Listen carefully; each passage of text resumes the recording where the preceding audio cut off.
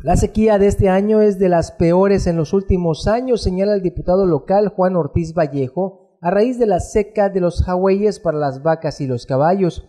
La sequía que apenas está empezando en Quintana Roo, de acuerdo a lo pronosticado por la Dirección de Protección Civil, ya generó la seca de los estanques naturales para vacas y caballos que empiezan a bajar de peso por esta falta de líquidos. Están sufriendo los estragos de la sequía. Es una, viene siendo una de las tantas peores sequías. Aparte de los hawaiis, pues este, pues llevan, llevan en sus camiones cañeros los, los tinacos de agua para abastecer al ganado.